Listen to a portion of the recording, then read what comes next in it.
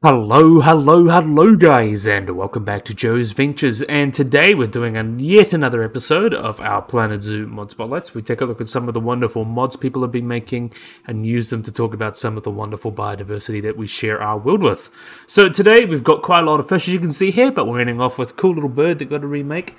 But um, let's get stuck into this one. Lots of Leaf and Buff Zoo mods, of course. So we're going to be starting off today with the Kafue uh, killfish. Um, I don't really speak uh, African or any language like Swahili, um, anything like that. I can't speak any African language well, so uh, that's my best approximation. But anyway, we've got the Kafue uh, killfish. Scientific name is Nothobranchius um, kafuensis. Uh, described by Wynn-Kept and Rostock in 1989. Really, really interesting uh, species. So these guys are type uh, that group that um, uh, called Crinoptiformes. So these guys are part of the killfishes, live bearers, and river lions. Uh, lions, I believe you say that. And the, and the family is the Nothobranchiidae, which is the African version, uh, part of that group. And the scientific name means uh, Northos, uh, means, means false in Greek, and Branchia means gill. So the name basically means the false gill, which is pretty interesting. Really cool little guys here. So these guys are benthopelagic, so they're typically found in open, uh, deep water, and these are freshwater fish. You can only find them in fresh water. Um, they live in tropical waters from between 22 to 28 degrees Celsius, and they're typically African, so they can be found around the Kafue River and Upper Zambezi River in Zambia. So a little bit of a restricted range there, but still really, really cool animals. So, in terms of their maximum length, they're quite a smaller fish. These guys get about six centimeters long, uh, or in, in, their total length. And they're a bottom spawner, and they have about five months or so incubation. Let's see if we can find a little one hanging around here, different color, just to mix it up. So, um, yeah, really, really cool little fish. They are difficult to maintain in aquariums, though, though they can be found in aquariums. Uh, they're considered least concern, so their species is not really considered like um, at risk of extinction or anything.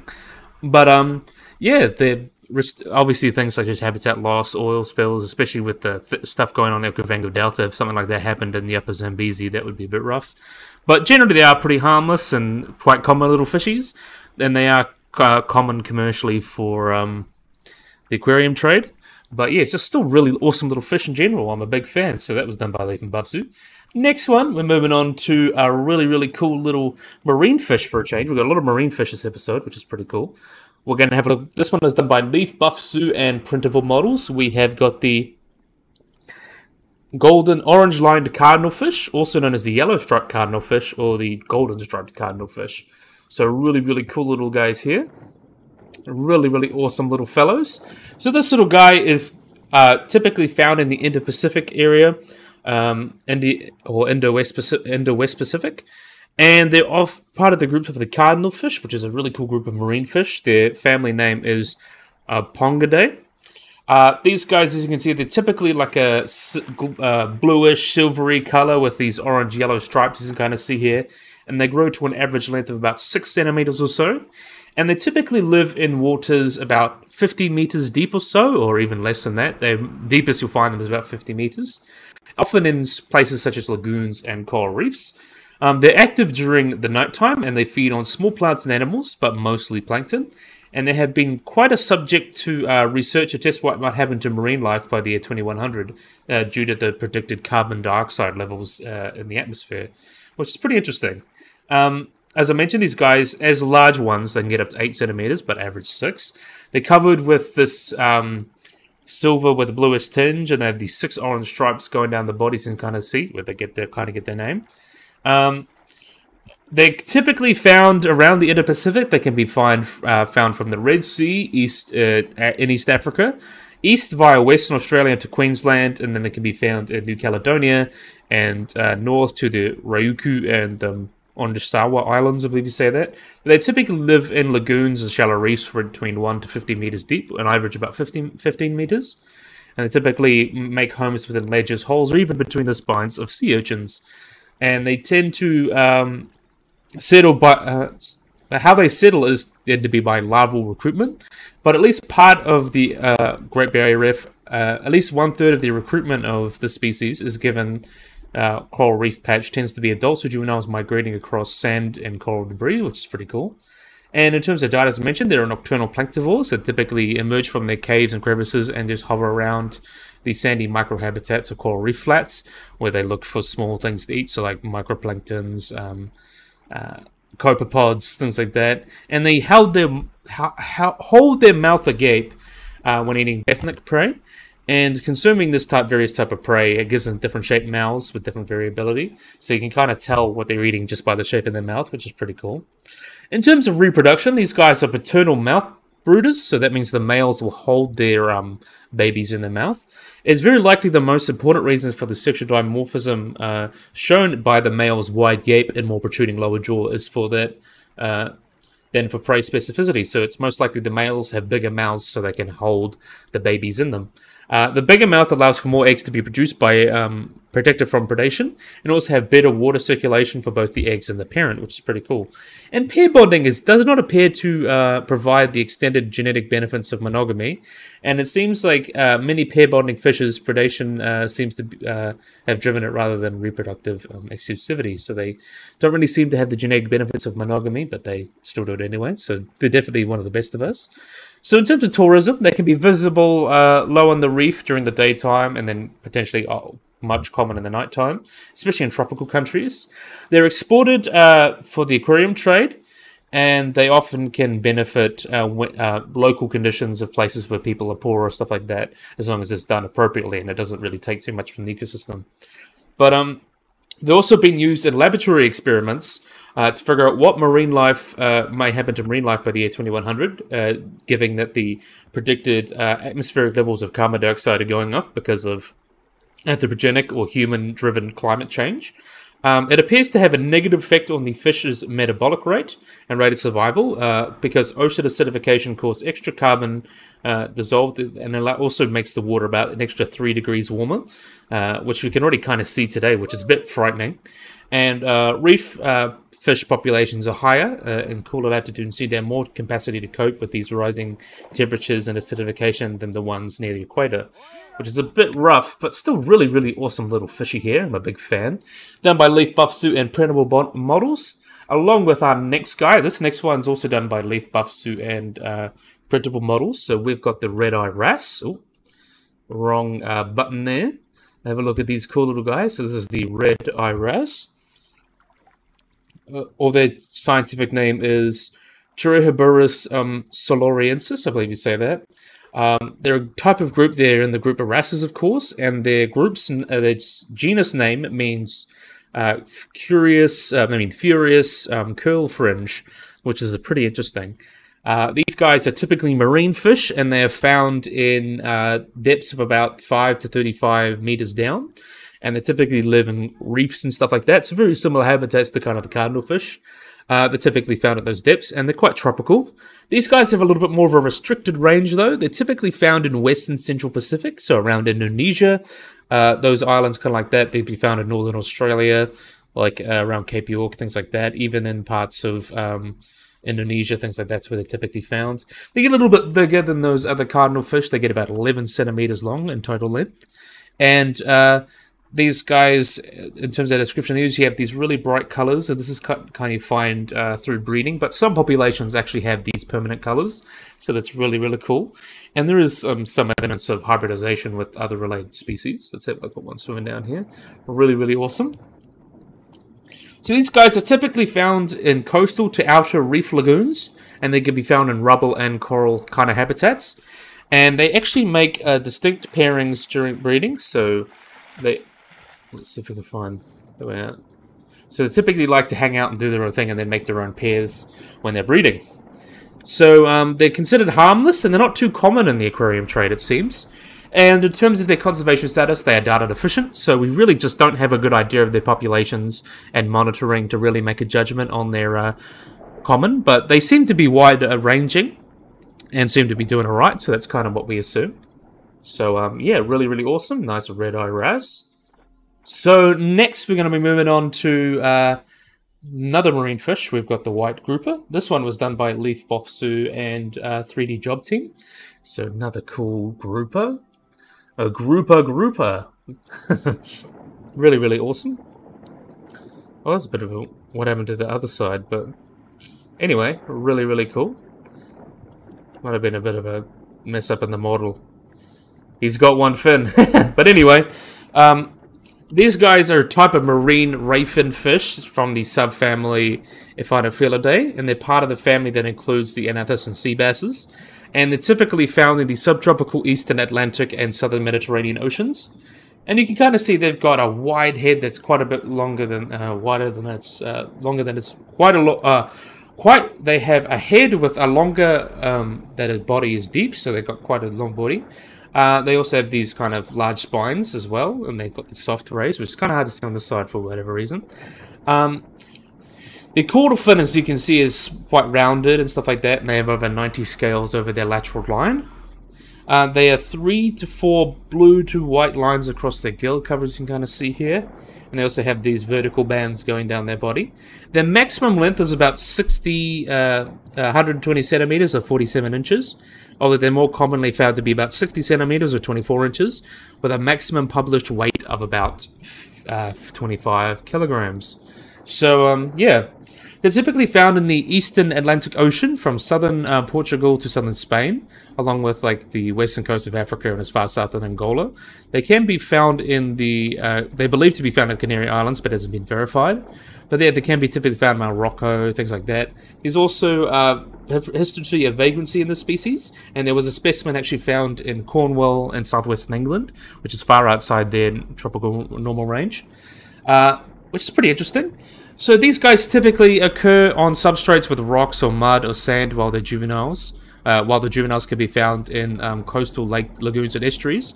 The adults are typically found in these um, rock or mud sand habitats, and they can be found at depths between 220 meters, so quite a depth there, from 66 to 665, uh, 56 feet.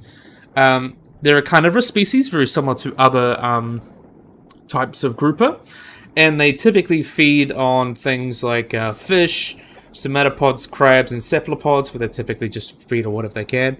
And they have a seasonal migration of the species from the coast of Senegal to Mauritania, which is believed to be uh, linked to the upwelling of the uh, coasts of these nations. And they're also um, protogynous hermaphrodites. So while females reach a sexual maturity at about uh, 50 to 60 centimeters long, or 20 to 24 inches, at the age of 5 to 7, they then change into a male. Um, and then basically from 5 to 7 years old, they're female, and then from 10 to 13, they are males. And of Tunisia, this species spawns between June and July, and while in the Istipak band in Turkey, these guys will breed between early June and up to August. So, um, yeah. They're also very important quarry species for fisheries throughout this range, and they use this hook and line and trawls to catch them. In Singali, um, Singalese waters, these guys will uh, mainly land their species in the local commercial fisheries. They'll like it. Overfishing is actually a threat for these guys in a lot of the areas, even where they are protected, and they have been targeted by poachers using lights and spear guns. And they luckily have been bred for aquaculture, and they're marketed fresh or preserved by smoking, so quite a common food fish, which is pretty cool. And um, yeah, they're considered least concern. Uh, I mean, near threatened. I mean, so near threatened means there are some uh, effects on their population that could cause them to decline, but they seem to be doing quite well. They need to some monitoring.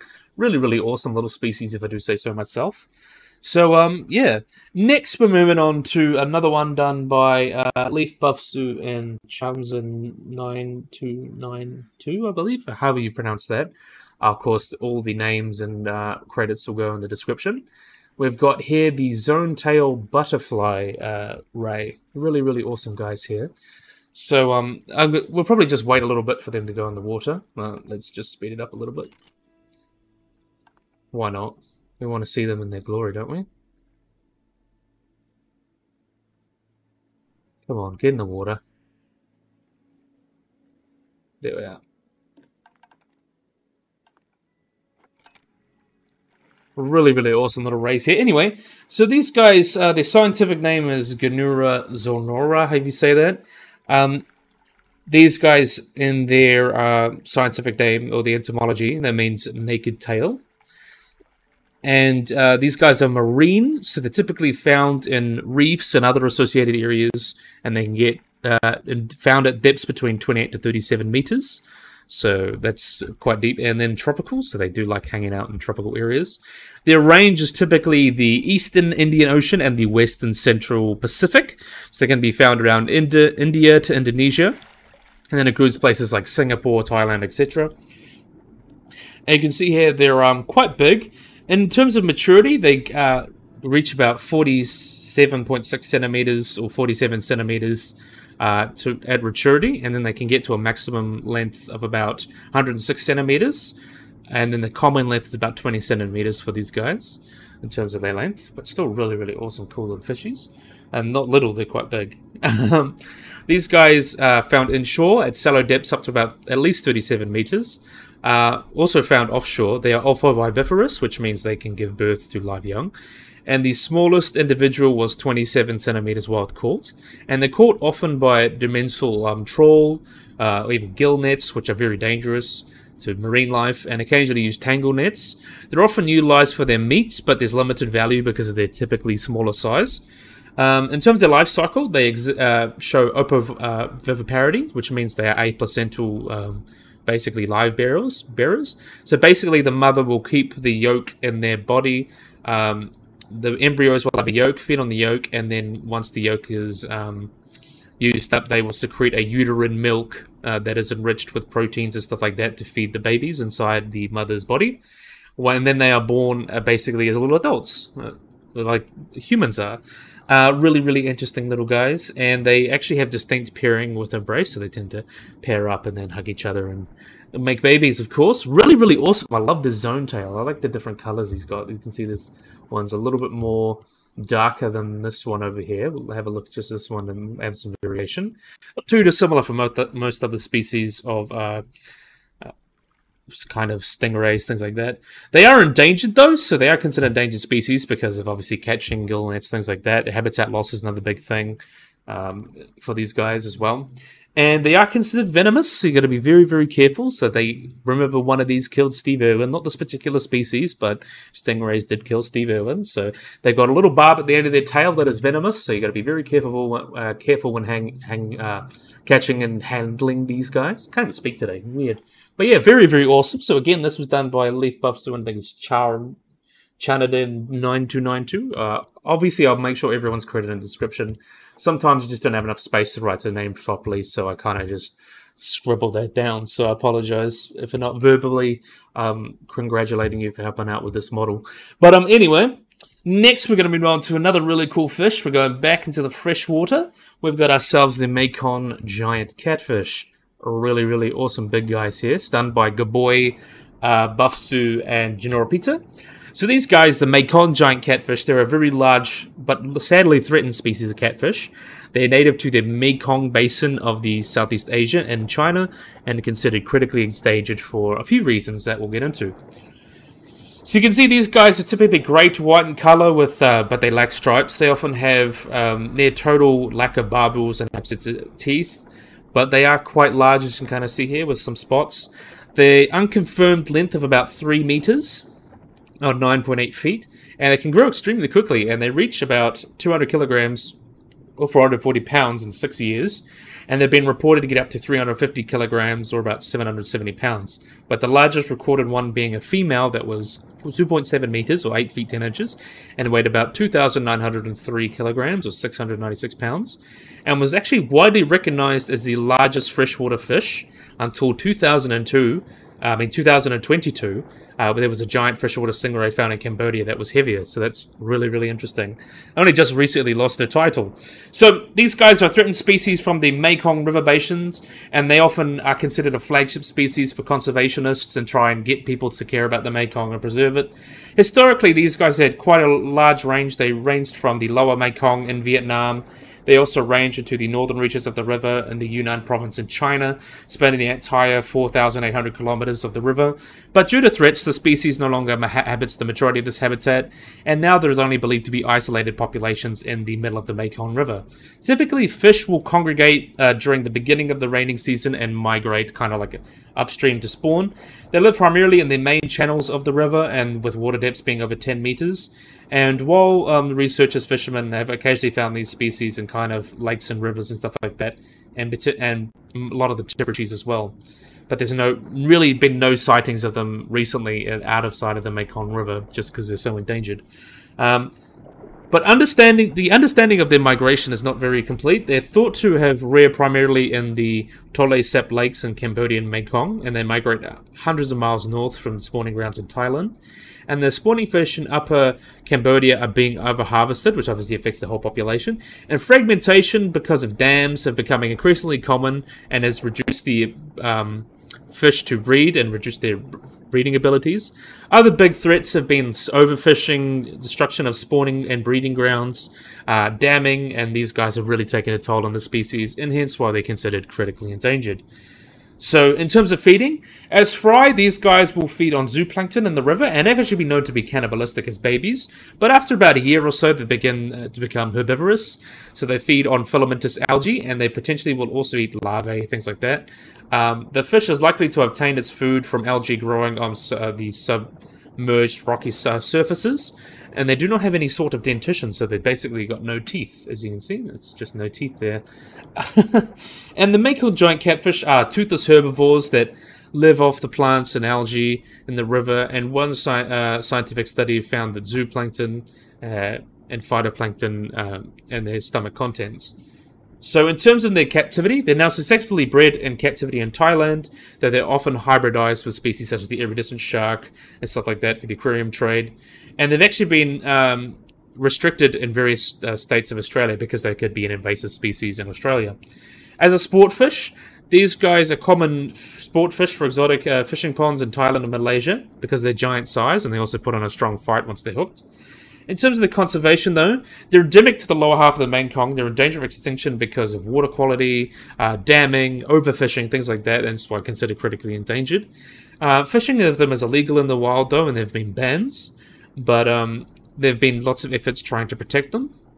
And also, overharvest has been a big issue every year with millions of tons of fish being harvested from Cambodia each year, and also lots of other factors, damming, like water um, quality has really been affecting these fish.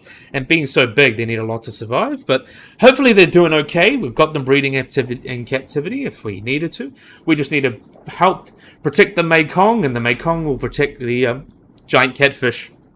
We just need to protect those rivers because freshwater rivers are extremely important and they hold such wonderful species like the Mekong catfish. Really, really awesome uh, animal. I really love talking about animals like this, especially critically endangered ones. I like educating about animals like that. I've got a soft spot for endangered species because sad to see them that way. But really, really beautiful animals, the Mekong giant catfish. So wonderful, wonderful animals. So we're going to be moving back into the ocean. So this one was done by Leif Buffzoo and Nessasa Berwick, I believe you say that, however it is we have got the orange catfish, uh, not catfish, clownfish. Little clownfish here. So these guys, also known as the percula clownfish or the clown anemone fish, uh, these guys are a widely popular species of aquarium fish. Like other clownfish, they will live in close associations with anemones, so they're typically found in anemones that uh, they hide in them for protection, uh, similar to a lot of other species. And um, they'll also um, just help each other, symbiotic relationship. And they're quite hard to keep in captivity, but the symbiosis with these guys means uh, they've kind of they the anemone protects them from um, chemicals. I mean, not chemicals, protects them from bigger fish like uh, and things like that, protect them from predators. And the fish will help the anemone by feeding it, moving around, and increases the oxidization of it, so more oxygen gets into the anemone and um, they remove waste material from its host. So it's a symbiotic relationship, which is pretty cool. So these guys in size, they tend to get about 11 centimeters, or about 4.3 inches, and about average at about 8 centimeters. And they can be recognized by these three white long lines across the orange body, as you can kind of see here, with no distinct coloration between the sexes. They look quite similar to the uh, species Ocellaris clownfish, which is the one that was Nemo. But these guys are quite a close relative, but look quite similar. But the easiest, easiest way to distinguish the two species is that um, the A. pinnaclura, so this one has 10 spines on its first dorsal fin, but the other species has uh, 11, or really 10, and is more reliable. But mostly the more reliable way is to um, look at the color patterns. So the um, typically A. ocellaris does not have thick bandings uh, outlining the fins, so they wouldn't have this area kind of here. So this is the kind of the easiest way to tell them apart from their close relative, the uh, clownfish. Uh, in terms of reproduction, these fish uh, live in warm water, so they can breed all year round. Each group consists of a breeding pair and none of them four non-breeders. Uh, they each have a hierarchy, with the female being the largest, the breeding male being the second largest, and the male non-breeders getting progressively smaller as the hierarchy descends. So they exhibit parandries. That means each fish is born male, but they change uh, but changes to the female if the sole breeding female dies. So what will happen is that the if the female dies, the next largest breeding male will become the breeding female, and the largest non-breeder becomes the uh, breeding male. So it kind of circles through. And they typically spawn in correlation to the lunar cycle. So at night, the moon maintains a higher level of alertness in these guys, and then they'll breed during that time. And then uh, the courtship would involve them extruding their fins and then biting the female and chasing her. And they also swim rapidly to attract females. And the nest site is also important for the survival of the eggs. And depending on her size, the female lays between 400 and 1500 uh, eggs per cycle. And they expended to um, 10 of the breeding females roughly 12 years. And they're actually relatively long for a fish of this size, uh, which is pretty cool. So the young breeders kind of just help and uh, hang out around the nest and help take care of the babies that the breeding pair kind of produce, which is pretty wild. And typically lay their eggs on a safe spot close to the anemone where they're easily protected, and such as the parents can retain uh, safely if threatened. And the anemone is usually lazy. Uh, anemone fish usually lay their uh, nests in the evening, a few days after carefully cleaning the chosen site, things like that. And also, very awesome thing is that recruitment in other individuals in a given species that can survive within a certain time follow larval habituation. So, the highest level of recruitment, the better chances of larvae surviving long enough to become adult fish. So, they have large food supplies, low predator threat, and the available of nearby anemones often affects this. And A. percula, like most other common reef fish, have a bipartial life cycle. So, typically, as babies, they will live out in the ocean and then they'll remain motionless, just go with the currents. Until they get big enough, they move into the um, reefs and then find an enemy and live in there. As adults, they're quite poor swimmers comparatively. So typically their habitat, they are typically found more across coral reefs. They can be found in the Pacific Indian Ocean off north uh, western uh, Australia, Southeast Asia, and Japan. And they both um, and the anemones reside in shallow waters where they like to live in waters between 25 to 28 degrees. They also um, develop quite fast. As the eggs are fertilized, they tend to hatch about after six to seven days. After hatching, the larvae are very small and drift out into the ocean, uh, and they stay in the upper water column. They spend about a week floating among the plankton and transported by currents, and the larval stage ends with them when they're settling at the bottom of the ocean, and then the process from going from larval to juvenile stage takes about a day. The rapid um, development of color of these guys occurs during that juvenile stage. And then during that juvenile stage, anemone fish has to find a suitable host. And then they typically, when it comes to contact with the anemone, they produce a protective mucus-like coat that protects them from the stings of the anemone. Which is really, really cool. And it's cool, like, symbiotic relationship that a lot of these anemone fish or clownfish have to um, the reefs and things like that. So really, really awesome little fish, little uh, guy. Is there only one in here? Is there four? There should be four. Let's see if we can find the other ones. Oh, there's one. Yeah, really, really cool little fishies. How can you not love these little guys? Not love a little orange clownfish. Not the same type as Nemo. Different species, but uh, obviously most people aren't too worried about that. But next, we went on to the blue surgeon fish, also known as the blue tang or the royal blue tang. Uh, very interesting species. This was Dory, if you know from uh, your favorite uh, movie, Finding Nemo, as we talk about it. Really, really awesome species here. So these guys are quite a popular fish in marine aquaria. So you can see they have this kind of really cool color to them, like a royal blue body with that yellow tail and this palette design, as you can kind of see here. They get quite big. They grow about 30 centimeters or 12 inches, with adults typically weighing about 600 grams, and males being generally larger than females. This fish is rather flat, from like a pancake, and they've got quite that circular body, as you can kind of see here, and the small scales. In terms of their location, they're typically found in the Indo-Pacific, so they can be found in reefs in the Philippines, Indonesia, Japan, the Great Barrier Reef, uh, New Caledonia, Samoa, East Africa, and Sri Lanka. And they're actually one of the most common and most popular marine fish in the world because of um, Finding Nemo. And they tend to live in pairs or small groups of about 8 to 14 individuals and they can be found near cauliflower corals and on the seaweed side of coral reefs typically.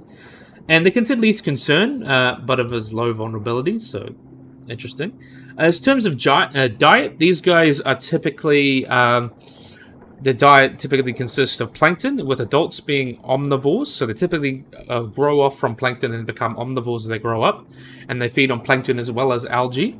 Uh, spawning will typically take place in the late afternoon and evening hours, and this event is indicated by a change of color as they change from this uni- uh, change from a uniform dark blue to a pale blue. And the fish is important for coral health because they eat algae that actually may um, overchoke the corals. Um, so these are very important for coral health, which is interesting. So in terms of life cycle, the uh, males aggressively court the females uh, in the school, uh, leaning like kind of rushing them and stuff. They lay small eggs, approximately about 0.8 millimeters, and they're pelagic eggs, and then they've um, each contain a single droplet of oil to help them float. The fertilized eggs will hatch after 24 hours and reveals these small larvae that will often just drift in the current. The once opaque, the black pattern of the juveniles does not come in until they're fully mature and they reach sexual maturity at about 9 to 12 months of age. So these guys, in terms of human uh, interaction, these guys are a minor communal fish and uh, commercial fish importance. They are a bait fish. They have a strong odor, not highly prized, but they're often more commonly uh, caught for the aquarium trade and they don't really do well in captivity. No one's ever really bred them in captivity yet. So most um, um, blue tangs are kind of collected from the wild, and that's kind of an issue because of um, being the most popular fish. There, lots of populations are at risk from uh, overexploitation because of the aquarium trade, and then also destructive fishing practices. But um, they seem to be doing okay in that regard, and there have been efforts to breed the species. Hopefully, they're um, they were successfully bred first in 2016 after an effort by Kevin Brandon and the Rising Tide Conservation. So hopefully it becomes more common to get captive bred blue tang in captivity. And in terms of popular culture, this is the species that um, Dory was, and that she was voiced by Ellen DeGeneres. Um, very, very cool fish. I do love blue tangs. It's really nice to see them in aquariums. Really, really do love them. So yeah, really awesome fish. Um, so all done all the fish today. This one was done by Leaf Buffzoo and Bronze 82 or 282, I think it is. Uh, next, moving on to our last uh, animal today. This one is a remake by Bongo Hardwood. We got ourselves the magpie goose. Really, really cool animal here. So the magpie goose, they're actually not related to goose that closely. They're actually their own group that like arrived during the uh, end of the ice age. Uh, not the ice age. Um, the they diverged from other species before the Cretaceous Paleogene extinction event, or the KPG, with a relative living about 68, 67 million years ago in like um, USA or London clay, plus like places like that. So they're like really early relatives of the, um, or really um, early branch of kind of birds, which is really really interesting. Um, There've been relatives found around like the Paleogene and Oligocene in Europe and areas in France and things like that. But these guys um, typically just now survive as Australia and they're the last member of their group. Um, as you can see, they're quite a different um, color to these guys. So these guys are unmistakable because they have this black and white plumage, as you can kind of see here, with um, yellowish legs that are webbed. Uh, only partially webbed though and they typically feed on vegetable uh, vegetable material in the water as well as on land. Males are typically a little bit larger than the females, so the males are a little bit bigger, but they do molt gradually. So they don't have a flightless period, and they've got a loud honk, very similar to most other goose type animals, things like that. So in terms of their ecology, these guys are typically found in open wetland areas such as floodplains, swamps, areas like that, and also grass seeds. They feed on wild rice, things like that. They're fairly sedentary, apart from some movement during the dry season. They're also colonial breeders and are gregarious outside of the breeding season, so they um, typically form large and noisy flocks that can be up to a few thousand individuals. The nest on the ground uh, or are trees five meters or more so tall, and they typically lay a clutch between five to 14 eggs. So we'll have a look at the cute little babies as we talk about that. How cute are these little guys? So, um, some males mate with two females, all of which raise their young, unlike some other polygamous birds, and there may be benefit when predation of young is high and chicks are raised by trees more likely to survive. So these guys are typically plentiful across most of their range, although it's significantly reduced in comparison to um, when Europe after Europeans came. So their range was extended from pretty much South uh, Australia up to Southern Australia, Western Victoria, but for now they're mainly restricted more north uh, especially due to overhunting, uh, overhunting and habitat destruction. A lot of those populations more south were extirpated by the mid 20th century. But there are efforts to reintroduce them, such as um, the Bool Lagoon and Naracoorte kind of uh, reintroductions, which is all very good. You want to get these guys back in common again in the southern areas. The magpie goose was listed as near threatened by the two, in 2007, and I believe now they are considered least concerns, but um, there's still obviously reintroduction plans, as I mentioned, trying to get them back out into um, southern parts of Australia, like Naracoorte, places like that. And um, with the advent of climate change and more sequ- um, seawater, like inundations of current freshwater floodplains, it's believed that these populations be, may be at risk. So it's kind of a mm, do we really want to call them uh, least concerned when that could be a risk to them? But they seem to be doing okay now, at least, and quite important in Aboriginal culture. So there's actually, uh, they know the bird is the Maramulek, I believe you say that, or however, I probably butchered that, but anyway.